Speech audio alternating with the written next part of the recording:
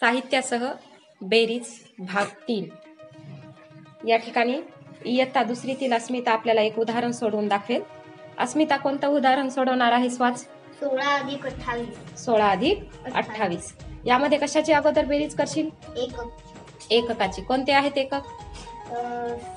सहा अधिक आठ. सहा अधिक आठ. तर बरं वस्तू ठेव. सहाच्या पुढे किती ठेवशील काड्या? सहा. सहा ठेव मग. मोजा सर्वजण.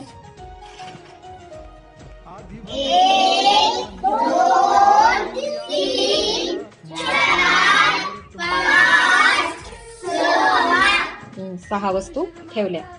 यानंतर आता किती आहेत? खाली कोणता अंक आहे? आठ. किती काड्या ठेवशील? आठ. आठ. ठेवा मग.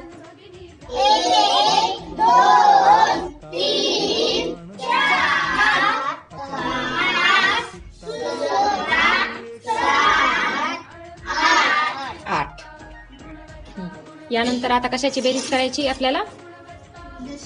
दशकाची. दशक म्हणजे गठ्ठा. एकाच्या पुढं किती गठ्ठे ठेवशील? ठेव मग. हम्म. त्यानंतर कोणता आहे अंक खाली?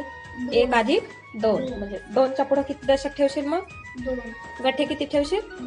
दोन. ठेव. दोन. आता करा बेरीज. एककाची बेरीज एकत्र करून. किती झाले सर्वांनी मोजायचे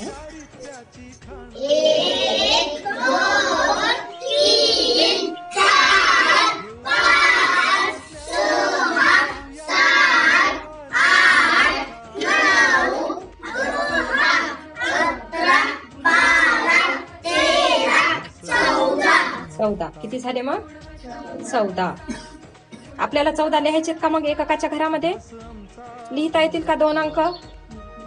एककाच्या घरात एकच अंक लिहिता येतो कारण तो आहे सुटा. मग काय करणार तू? काय करशील?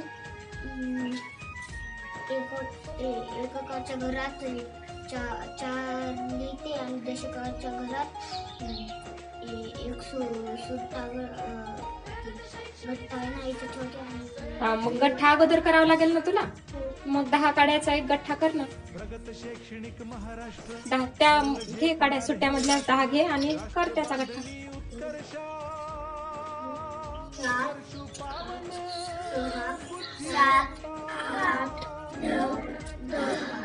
दहा काड्याचा एक गठ्ठा आपण केला.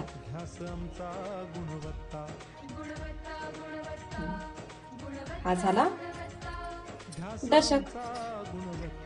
हा झाला? दशक. आता हा दशक एककाच्या घरात राहू शकेल का? राहू शकेल का सांगा? मान हलू नका सांगा. राहू शकेल का? नाही. मग एककाच्या घरात फक्त सुट्टेच पाहिजेत. मग सुट्ट्या किती काड्या आहेत मोज? सुट्ट्या काड्या किती राहिल्या? चार. मग एककाच्या घरात किती लिहिणार फक्त? चार. आणि दशकाच्या घरामध्ये जो तू गठ्ठा केलेला आहे तो काय करायचा? दशकाच्या घरात ठेवायचा.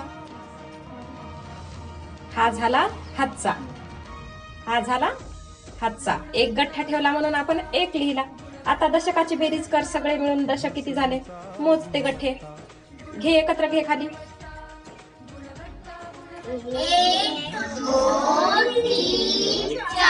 किती दशक झाले मग? चार गठ्ठे झाले म्हणून दशकाच्या घरात किती लिहिले आपण? चार.